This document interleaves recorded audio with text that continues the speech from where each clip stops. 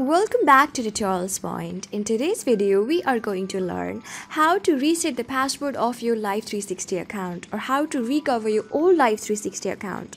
Before starting, you can subscribe to our channel for more videos and updates. So let's get started. As you can see that I have already installed Life 360 app from my Play Store. You can also get it in App Store, Play Store and then tap on it you're on to the very first section of the Life 360 app itself. Now tap on sign in just next to already have an account. Now you can either continue with email address or simply with your phone number. Today I'm going to get in with email. I'm going to reset it through the help of my email address. So enter your particular email address and tap on continue option above in with phone number. Since I do not know my password and I'm going to reset it, I'll be tapping on forgot password below continue. You can do the same.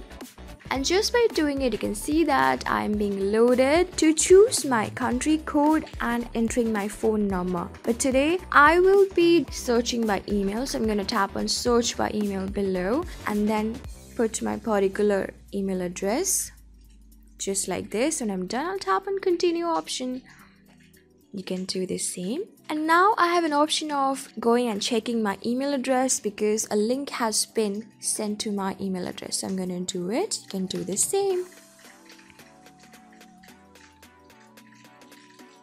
So you can see that on the top, I have a notification from the Life 360 app itself on my email address. So I'm going to tap on it.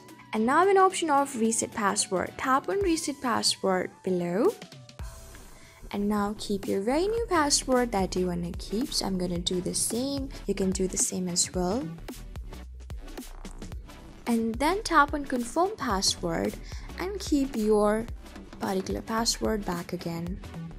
And when you're done tap on continue option below and you can see that just by doing it my password has been reset successfully and your password will be reset successfully as well through the same process. So i hope this video was really helpful for you and i was able to help you. I'm gonna see you in the next video. Till then keep calm stay safe and goodbye